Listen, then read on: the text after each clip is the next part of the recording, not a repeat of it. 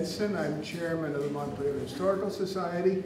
And I'm going to start by letting Eileen Corcoran from the Vermont Historical Society invite you to the facility. Eileen.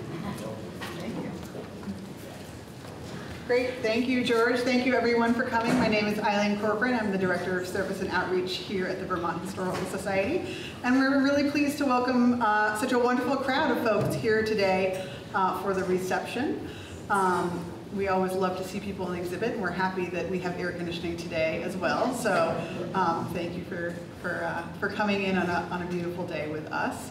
Uh, but one of the duties that I get to do at the Vermont Historical Society is work with uh, the local history gallery, which is where the Common Cracker exhibit is installed. The local history gallery is um, something that we created about five years ago uh, within our Freedom and Unity exhibit as a way to showcase uh, local history, local stories, and some of the wonderful and magical uh, events, people, and, and topics that we don't get to do uh, ourselves. And so it's really become this, this wonderful ability for us to have everything from exhibits on agriculture to women's history, uh, to fine art to now crackers. Uh, and so I think that really showcases the, the amazing breadth and depth of history in Vermont.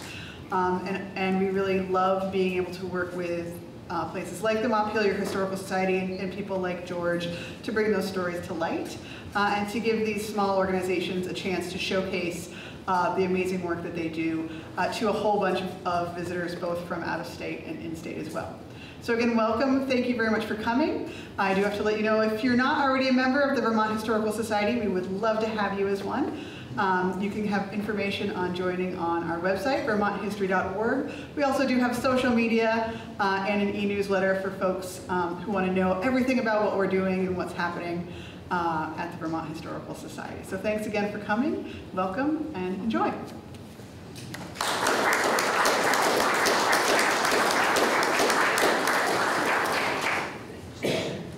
We have, we're here to celebrate the opening, and as such, we have a lot of friends and a lot of people that helped us put this together.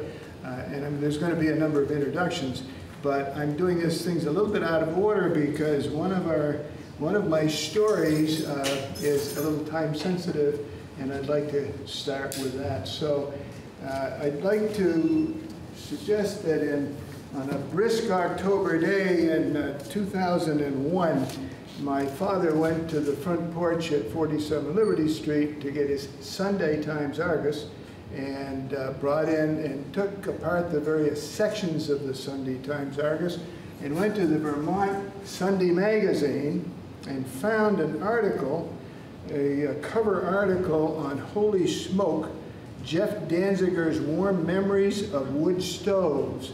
And on this cover story is an old Vermont parlor uh, with a wingback chair and a pot-bellied stove and a wood box. And the wood box says Montpelier Cross Crackers. And so my father fired off a letter to Jeff, and I have a copy of that letter not here. And Jeffrey, uh, Jeff uh, fired back a reply, and it was all a very friendly exchange. I entered the subject then, and I wrote Mr. Danziger and I said, wouldn't it be nice if we could have the cover art, the original art for that cover? And he said yes, and he sent it to us and signed it and addressed it uh, to my father, both articles of which are in the museum. And uh, we, we think that's kind of nice. This was not Jeffrey's first exposure to the common cracker. In 1980, when my family business, Cross Baking, closed their doors, uh, Mr. Danziger did the art for an article in the Rutland Herald. And it shows an old Vermonter, and he's sitting in front of a bowl of soup. And in the soup is floating some common crackers. And the old Vermonter has a hammer in his left hand. I've never quite understood the significance of the hammer. But anyway, we have today with us, we're very lucky to have Jeff Danziger with us, and I'd like him to, to comment on every everything I've said and uh, swap lies with him. And uh, Mr. Danziger, take it away.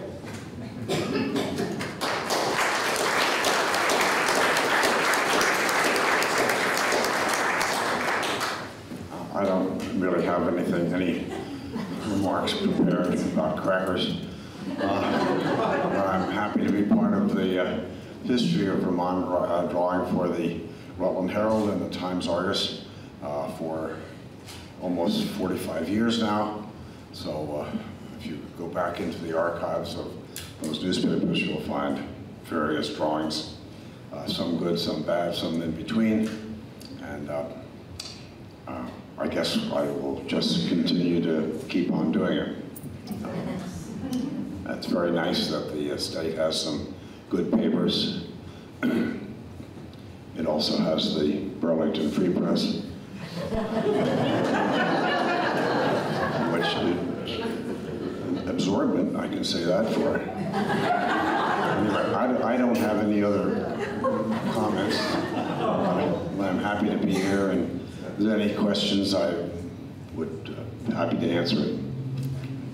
Is that okay?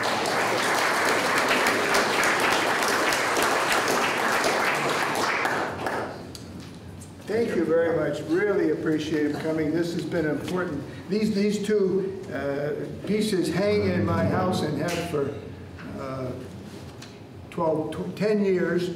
Uh, I guess the math would be on that. So I thank you very much for taking the time to come up here today. Uh, Let's start with thanking our underwriters. We wouldn't be able to do this without them.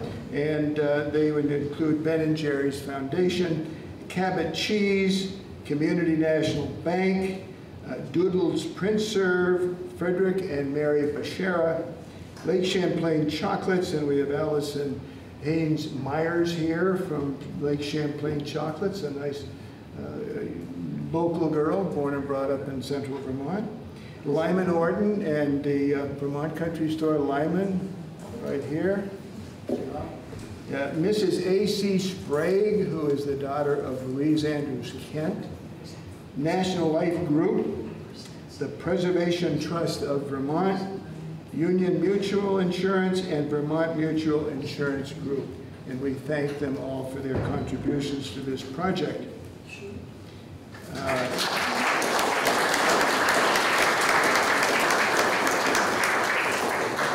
I have a number of family members here. I'm only, I'm- luckily, I'm only going to introduce the immediate family, starting with my, with my wonderful wife.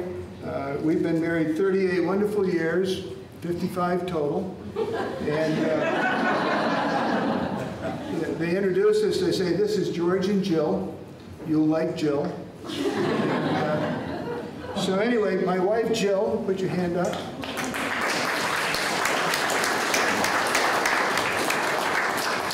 Daughter Elizabeth in the doorway. You don't have to applaud after each one. Her husband Eric. Daughter Nina.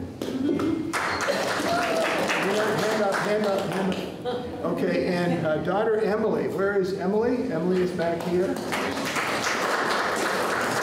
Chris Hadsel? Yes, she's here too. uh, Did you, want- I didn't know if you wanted me to say anything. Not yet, but you're coming up.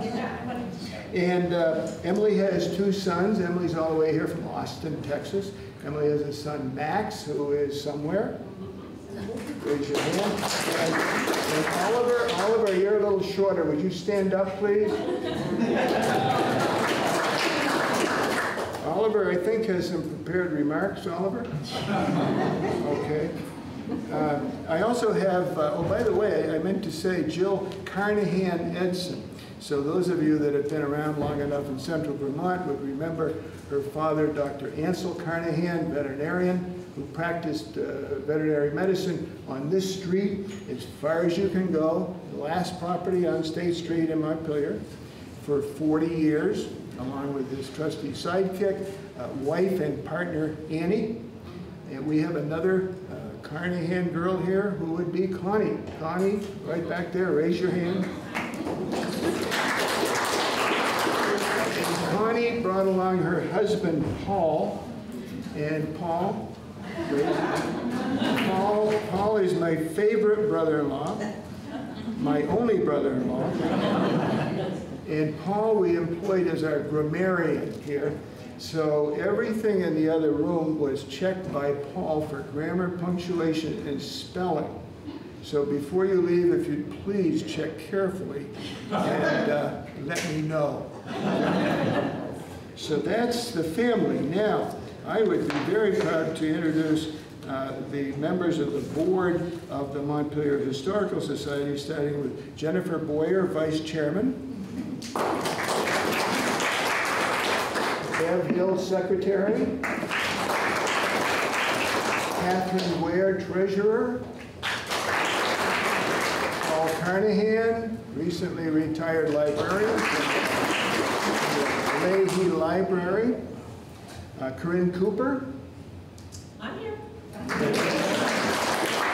And Danny Cohn left. Danny has a gig in Marshfield at, at uh, 4 o'clock, and Danny was here but left. Mike Doyle. And uh, Steve Ribellini. The only director not here is Thumper Colombo, who had a previous engagement. And, and I call that a pretty darn good board of directors, so uh, we'll accept, uh, we'll accept accolades for that group. Uh, George. Oh, Eric Gilbertson, did I, who did I forget? Eric. Eric Gilbertson. I have a list here, I don't read lists. very. Fortunate to have Eric. Eric has uh, been associated with the Preservation Trust of Vermont for ages, and was a historic preservation officer for the state of Vermont. Uh, Very lucky to have Eric on our board. Uh, Now, David Sheets, I didn't see David. David was to be here. David is the state curator of Vermont and is a great friend of the Vermont Historic, Montpelier Historical Society. And I would like to uh, thank David for all he does for us. Okay, we're going to go next to sort of the end of the story, and that is when my family business closed their doors in 1980, there was an auction, and Lyman Orton came to that auction. And Lyman Orton bought some equipment at that auction. I'm going to invite Lyman to tell us what he did. Okay, may I? Vermont Country Store, Lyman Orton.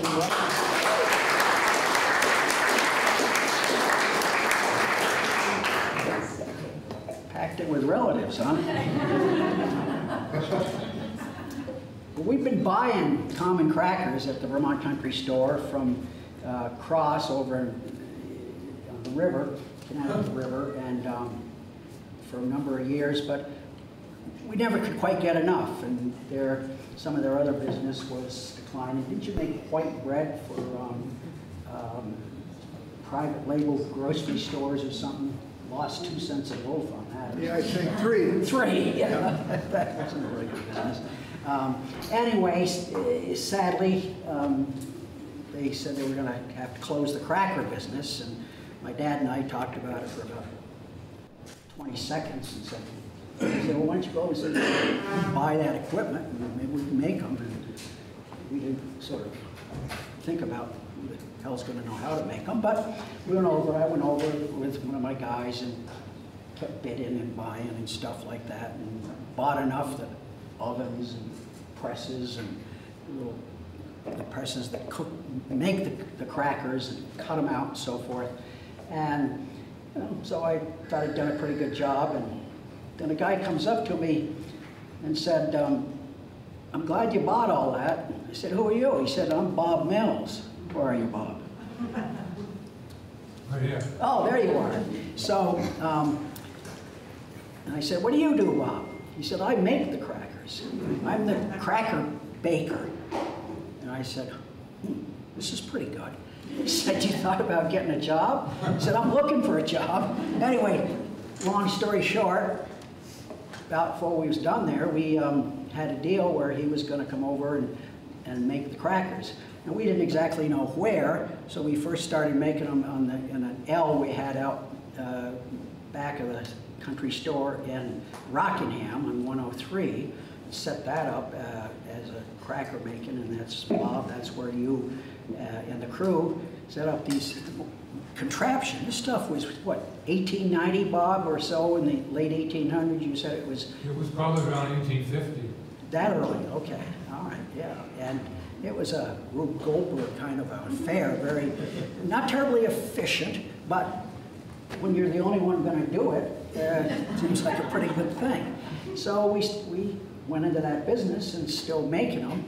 Some years later, I, I kept looking at it and I go, you know, I wonder what else we could make on that.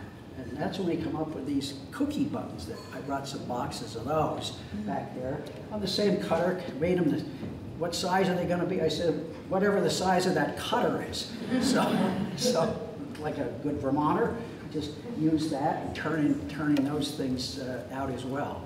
So the people who are, make this all happen are standing over here, and on my right is Julie Lanfer, who's in charge of all the cracker business and the baking of them. And to her right, on the left, um, uh, is Cara Suya. And her job is the director of the entire Vermont Country Store Distribution Center up in North Clarendon, Vermont. And that's a one-arm paper hanger in itself, right? And I think we said, well, if you're gonna do that, you're gonna have to take on the cracker business too. So she's, she did, but that's a heck of a job. So these ladies uh, put them out and it's, and it's great and I love to go there. Bob Mills told me that every once in a while you get three crackers stuck together and they throw them away. I said, don't throw them away, I can sell them. And he, he said, well, they're rejects. But he's like, he said, you can eat them, right? What are they, what did you call them in the bakery, Bob? We used to call them cripples, can't, can't use that word anymore, but that's what we call. Cripples, but stuck together, that's very unusual. So I think you could probably get a dollar for each We always threw them away, so you never saw Yeah, them. yeah, well, that's why you went out of business. Just- Um, So it's been such a joy to have rescued the Vermont, what we call Vermont Common Cracker, that that Bob was telling me that has over, had over 10 different names uh, in- and was made in about 10 different towns in Vermont. Right, Bob? Right, That's correct. Can you reel off some of those towns? Well, it was, of course, Montpelier crackers right here in Montpelier, St. Johnsbury crackers, Lamoille crackers up in Morrisville, Beach's Burlington crackers, and there was crackers in White River Junction that were made, they were called Hanover crackers, came from the first Hanover, New Hampshire. And then down in Brattleboro, there was a baker down there, Joel Cutler, uh, who started about, about the same time that Timothy Cross started here in Montpelier. But his bakery got sold like fifteen different times in a matter of fifty years. I don't know what their problem was, but they kept passing it on to somebody else. But no, they were still making them until about nineteen twenty. Yeah. Um, but, um, did I miss anybody? Oh yes, there's two cracker bakers in Rutland. There was the Rutland Cracker Company and another private, private company, guy started in eighteen fifty-three by name of Verder.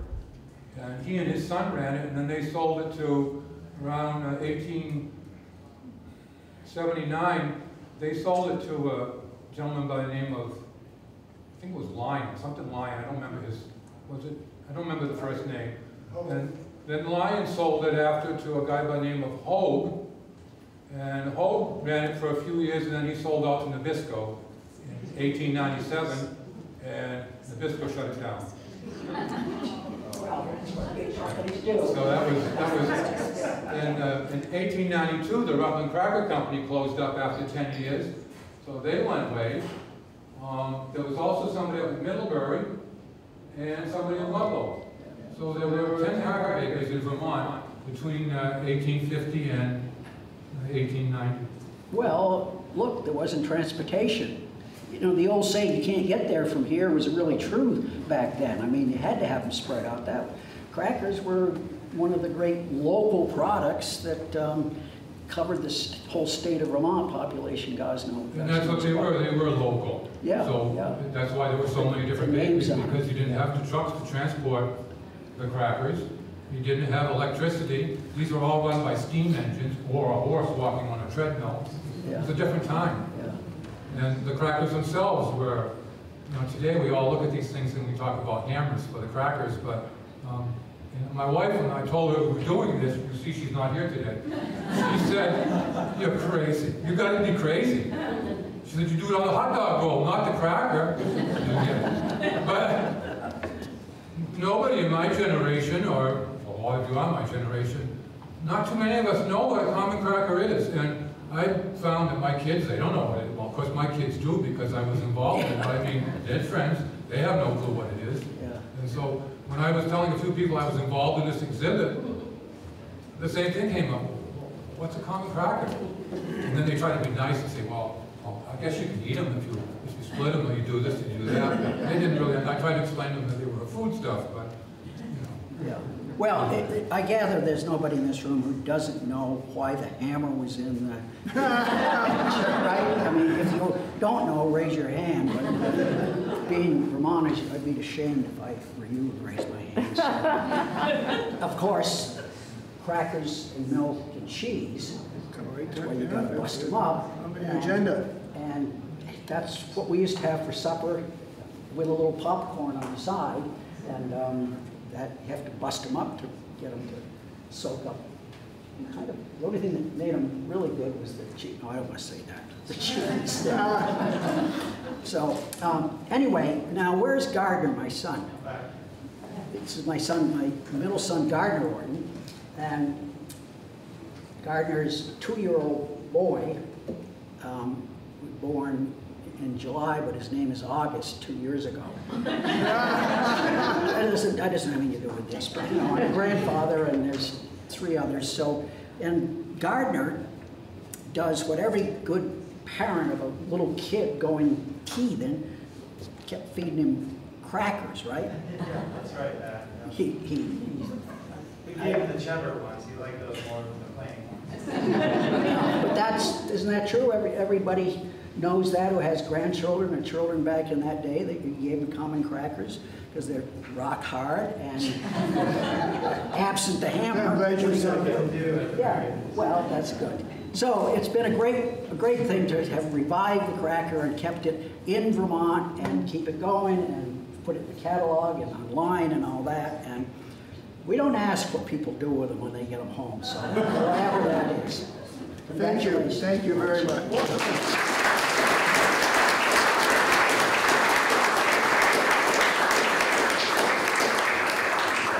And one more member of the Vermont Country Store group is Janice Brown, another baker over here. We want to recognize, okay, I- I- let me uh, pick up on the Bob Mills thing. Bob uh, worked for our company until he went to work for Lyman's company. And so I've known Bob for close to 50 years, 49 years. And uh, we became, um, we didn't have much to do with each other for a number of years. And a year ago now, I looked him up, called him up and told him what I was doing and asked if he wanted to help. Well, Bob has been invaluable. Uh, research, writing, uh, he remembers things, I don't, uh, as you can see. And, and uh, we emailed, uh, he came to my house and sat at my kitchen table. We drove to this gallery, sat in there and planned it. We emailed hundreds of emails. Uh, one of those emails, he and his wife share an email address. And one day I emailed him, and the subject line was my favorite beach. My wife and I, summer, in, winter in Florida. And I sent him this email saying my favorite beach. And uh, his wife got up in the morning before him and opened the email very anxiously to see what my favorite beach was. And it turned out it was a beach cracker box. she was some unimpressed. So anyway, that's, I, I just can't say enough about Bob. Okay, one of the things we, we did here, or I, we tried to do, was to tell some side stories. So you got the common cracker, what is it, how was it made? Uh, but uh, I was aware of the fact that, that the cracker was advertised on some Grange stage curtains. And I was aware of the fact that the Montpelier cracker was advertised on some stage curtains. So I turned to Chris Hadsel, who is the head of Curtains Without Borders, and Chris is with us today, and she's going to tell us just a little. I'm sure you all went in and looked at everything in there. There is a reproduction of the of the Middlesex Grange curtain that is now hanging in Worcester. So, Chris, tell us just a little bit about that.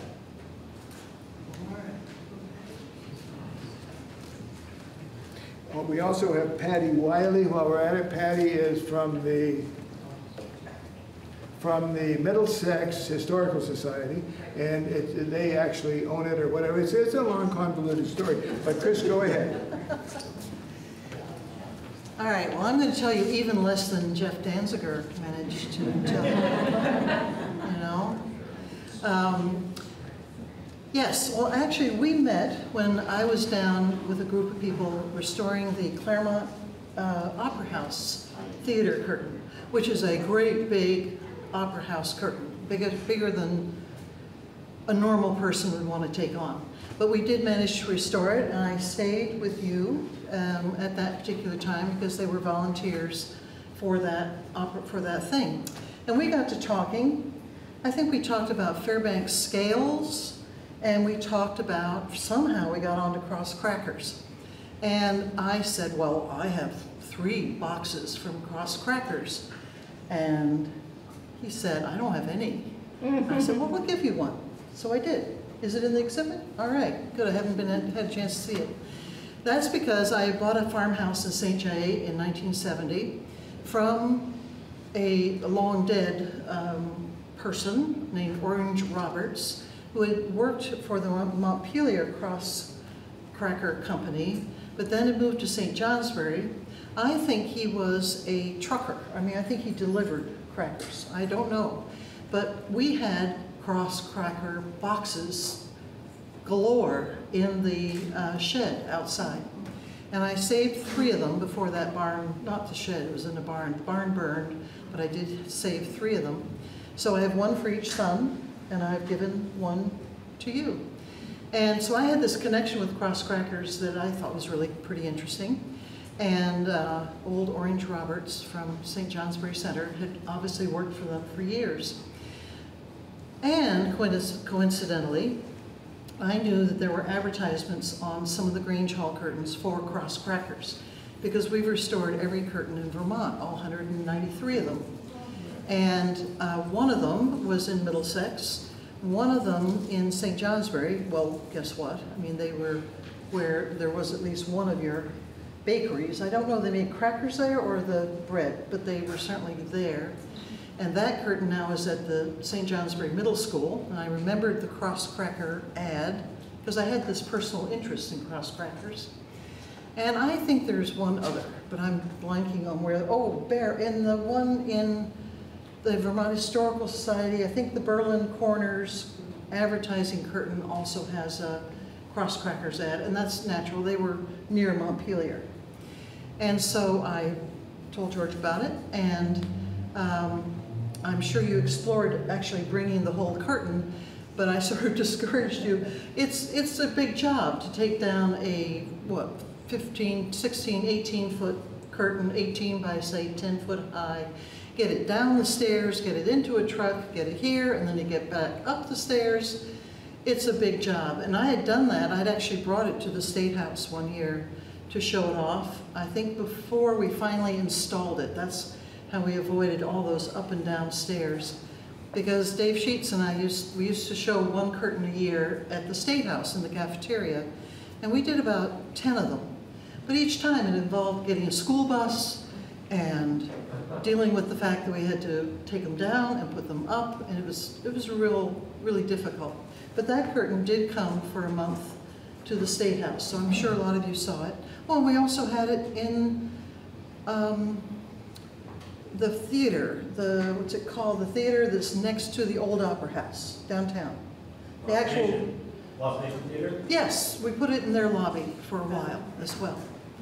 Um, so anyway, I'm very pleased that he that you know took the initiative to make a, a, photographic copy of the curtain rather than trying to bring the whole thing here. And um, these curtains were in every Grange Hall. They needed to have a way to roll something up to have a reveal. It was usually a, um, a kind of a staged reenactment of the founding of the Grange or something else to do with one of the degree ceremonies. And in order to have a reveal, you have to have something that you pull up because this is all before there were drawstring curtains. So every stage in Vermont, or every Grange certainly, and most stages in Vermont had these painted theater curtains. And um, you can go on our website and see them all. And uh, I also did finally do a book which includes the, um, the Worcester curtain. And um, what else? Jeff, anything else? No? Nothing else? All right. Okay, I'm gonna quit. If he says to quit, he's the boss.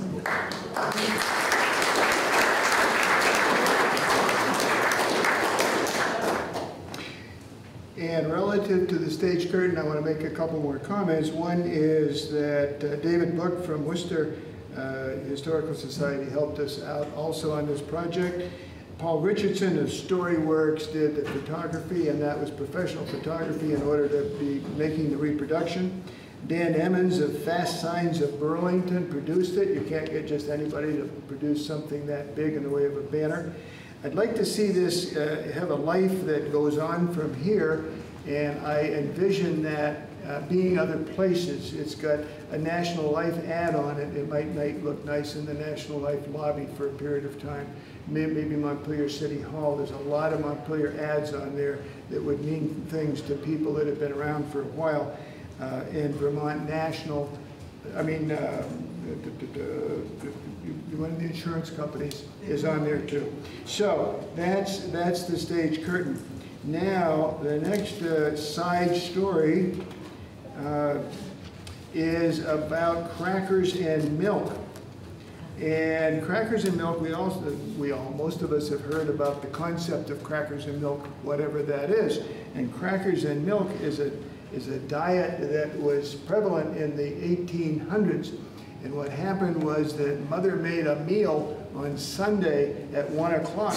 Well, mother didn't want to make another meal at six o'clock, so Sunday night was crackers and milk. So that is a subject that we, that we enjoyed uh, approaching. And we got a book uh, through Susan Kane of the Tunbridge Fair, a, a box in there, and one of the boxes features a picture of a, of a young man eating his crackers and milk. And we also found, my father kept everything, and he had some old printing plates, and they were corroded, and they were dirty, and they were bent. You couldn't even tell what they were. And so uh, after much searching, I, I, I found Sarah Smith, Sarah Smith, of the, uh, who is director of the Book Arts Workshop at Dartmouth College.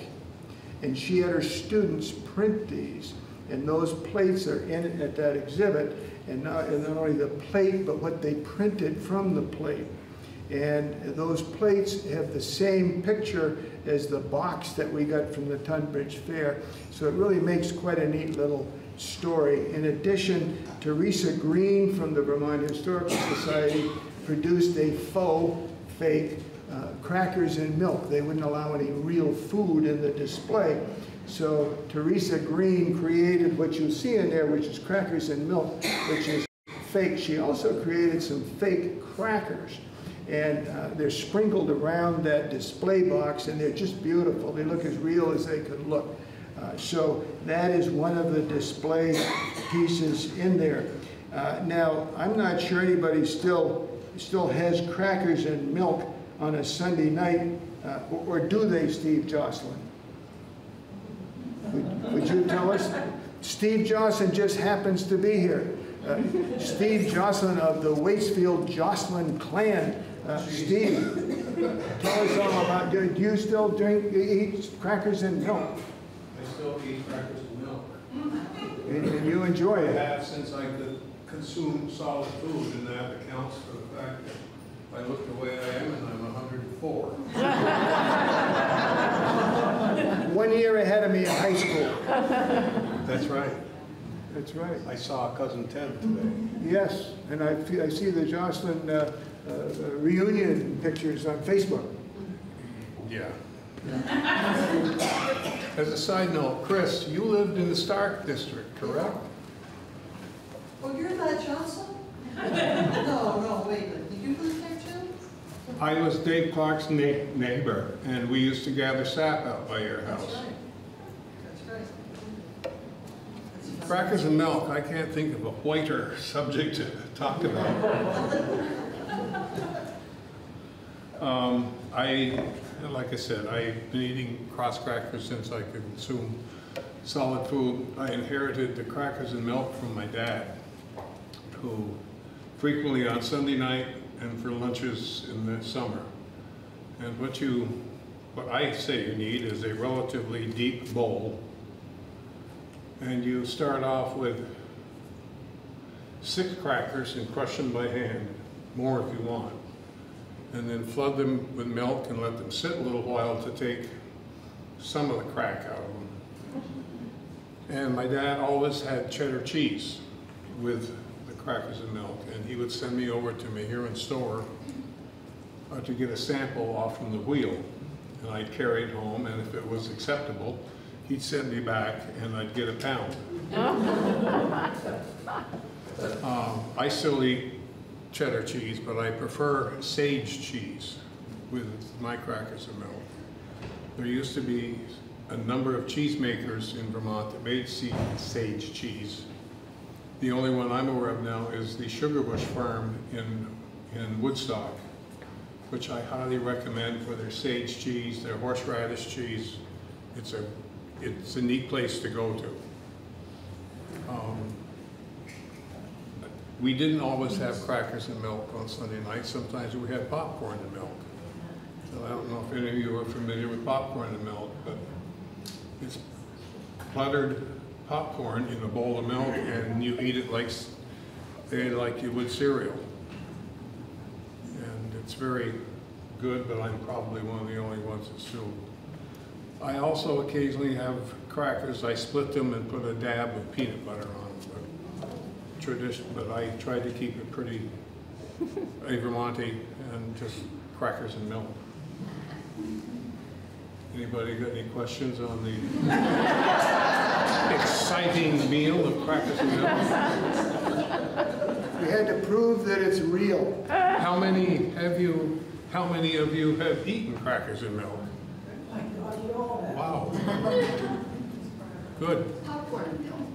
And I thank the Ortons for continuing it, um, because it got me this far, so. Then in Oklahoma, we had cornbread in milk. I hadn't heard, heard of This is not a cornbread show. don't, we'll forget you said that. Anybody Thank you, else? thank you.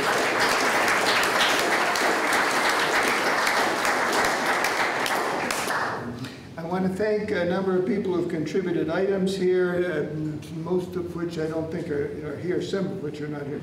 Peggy Pearl and Jennifer Payne of the St. Johnsbury Historical Society, Pat Stark of the Hartford Historical Society, Tom Cross, who is a- an antique dealer in Burlington, uh, Brooke Page is here. Brooke Page is uh, the most prolific collector of common cracker items anywhere. Brooke, where's Brooke? Brooke, only in front of me. And, and Kendall, Kendall Spavencure, and House Scales, uh, probably the biggest, uh, most varied collector of antique items in the state of Vermont. Thank you, thank you, Brooke. Uh, Okay, we have Louise Andrews Kent. I grew up at uh, at 47 Liberty Street with my mother having the cookbook called Mrs. Appleyard's Kitchen.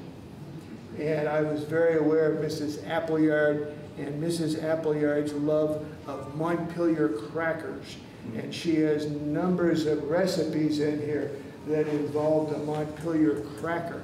And uh, there's a story in here, I knowing of, of, of her and the background and the cracker, uh, I included a wall hanging in there of hers.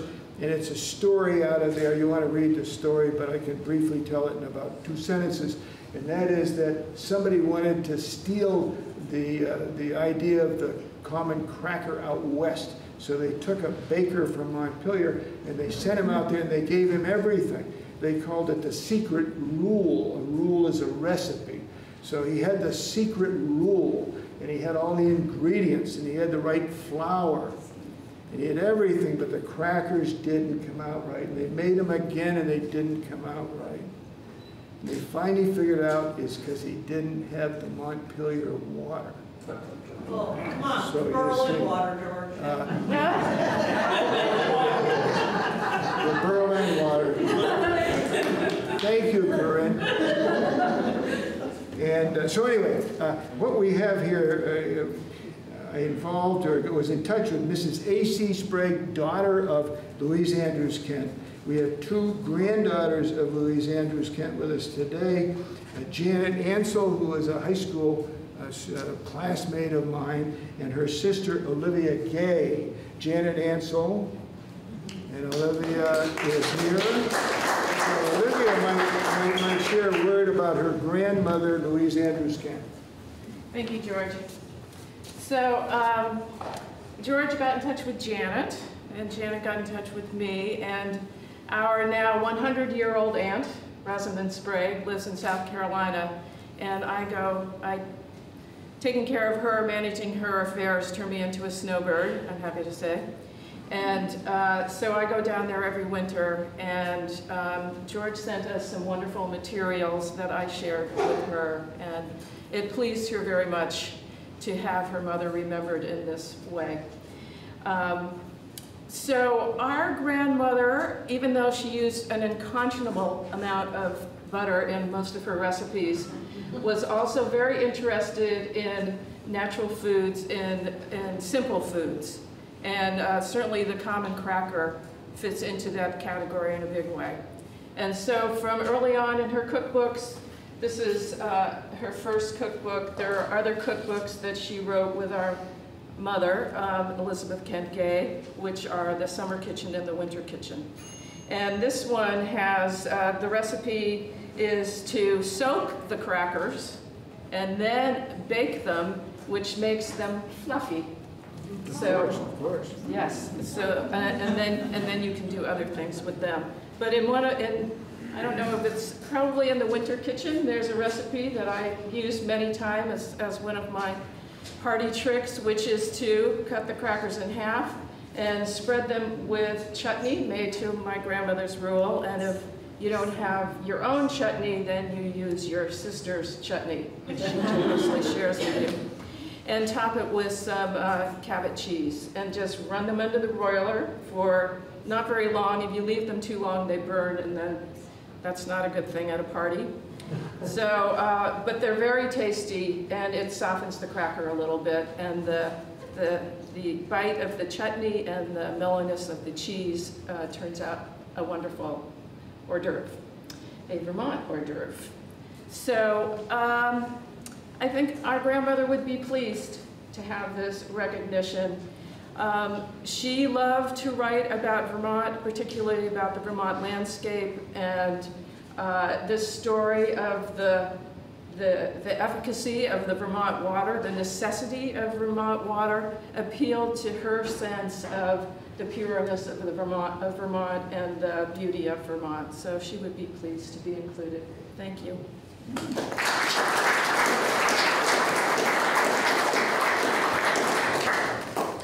And uh, Kent name, of course, uh, uh, Kent Corners. Kent's Corner. Kent's Corner. Like Many said- Kents, one corner. Like. I said, Kent, Kent Corner, uh, and uh, the Kent Museum, uh, all, all affiliated with, or all connected with the the Kent. And and the Kent story itself is a wonderful story. So I, unless I missed a whole section here, I think I've touched on every single thing on my list. My wife told me this should last six minutes. It's- it's- George, George, you missed one thing. Yes. She confirms, I'm assuming that everybody here has also heard of mock mince pie. Oh, yes. And guess what that was made with? Crackers. Like I said, don't forget the mock mince pie. Made with the Cross cracker, and, uh, I mean, the common cracker. Uh, I would invite anybody, uh, you know, somebody sitting here and said, oh my gosh, uh, I- I'd like to say this or that or whatever, or any questions or any other comments. So is there anything else? be- Oh, let me say, there's stuff up back, there's some, some free stuff, there's there's crackers, uh, there's some more um, things there that my daughter made, what- whatever they are. And uh, there's, uh, there's chocolates, Lake Champlain chocolates, and, uh, and- They might be good on a cracker. and I- stuff. I- I, I, I, I agree. What- Whatever you said, I agree, yes. And, um, okay, any, any questions? Anybody have to say something? Yes, Elizabeth? Please take cookies. They're delicious. And you all deserve them. So the boxes are out. These are Vermont Country Store cookies, right? And they're free. Cookies and the little kids on the picture on the front, one of them's Gardner in the middle. And the other two are the other, his two brothers. Guess which one's name? Guess which one's name? No, that's- And, and Lyman, if if somebody was telling me, uh, when I was talking about Calais and all these different things, your store, your family business started in Calais, right? North Cal. Like I said, North Calais. And, uh, and uh, you were, you were in business with the Teachouts. Well, my, my grandfather, Gardner Lyman Orton, that's the name, um, uh, was married to a teacher. And her name was Lilia Teachout.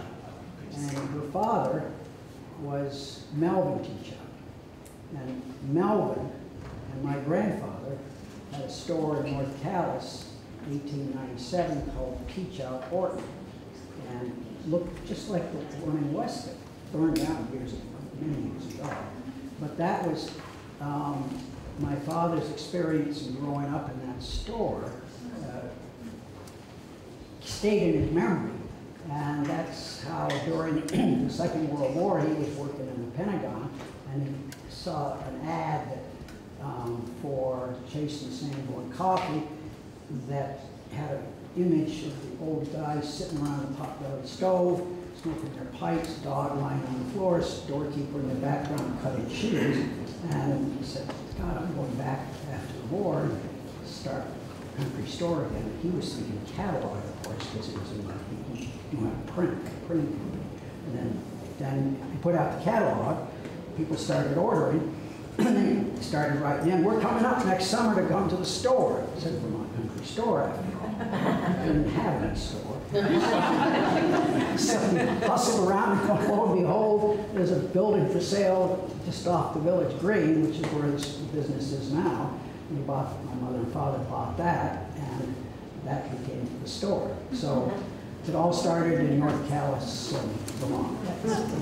And Teachout is a name that was very, we had Teachout friends, close friends, growing up in Montpelier, so, so this all is, all, everything's connected. Okay, anybody else? Yes, David, David Perrin, my, my relative, David and I go back in Berlin for, till the 1700s. Go ahead, David. My mother always used to go up the road about a quarter of a mile to the Cross Baking Company, corner of State and Main Street, and she would buy a bag of split crackers. Got two questions. Number one is, why did they split coming out of the oven? And number two, how much did this bag of crackers weigh? It weighed about so much. And uh, these crackers, as opposed to most crackers, split. And you split them, and there's a picture of my father on a, on a post, on a wall hanging in there, splitting the cracker with his thumb. So it was a hockey puck type shape and, and a little puffed, but it had a seam all the way around it. And, and as these do today. And you, and you, then you split it open with your thumb. So the only thing I can say is, is using this improper word of cripples, which is what we used back then, is they became cripples because somehow they became uh, disconnected in production. And so that is what, they, they sold them as kind of like seconds. Uh, How much it weighed and how much it cost, I have no, I wasn't there then. Yes, you were there. Did you work in the bakery? I grew up, uh, I worked with, uh, Crossing Bakery for ten years. And, uh, I was born in thirty-one, right after the Depression. And Carson's crackers, crackers were, my dad would go down to get a barrel of crackers, or whatever they happened to be in it. And, uh, we lived on that for quite a while. But then I went in the Air Force and came back and I worked in the, in the bakery for, uh, ten years. But while I was there, the, the crackers were in one end of the building and the wholesome bread on the other. I happened to be working on the, uh, bakery, uh, in the bread department. But we'd work together. The, the guy that was making, uh. So I watched him, yeah. He was, he was rugged. He, at one time, he could take two hundred pound bags of, uh, uh, flour on, on his shoulder there, carry it off. And, uh, wow. Anyway, I was watching him making the, the dough. And then they rolled it out. He would work, put it up, roll it out, do it again. He kept folding it over and over just a certain amount of time. Then he'd cut the, cut the crackers out.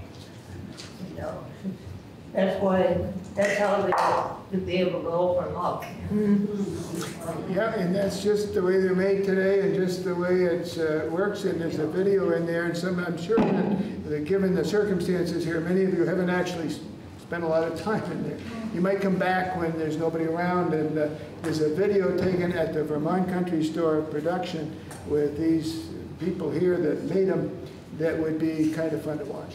Had another point, uh, this guy who wrote it, uh, they had an oven on the first floor and a mixer up there. And one, one time when the, the- the mixer, um, the, uh, cracker, one, he comes in a little earlier and, uh, you know, it's, there's fire smoke coming up from the oven. Fire somewhere. He gets the jack, twenty, had skids of twenty-five bags of flour. He gets it running.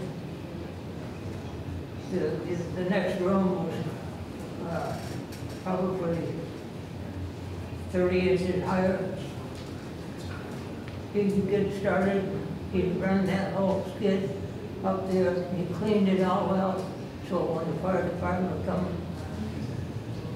get it out of.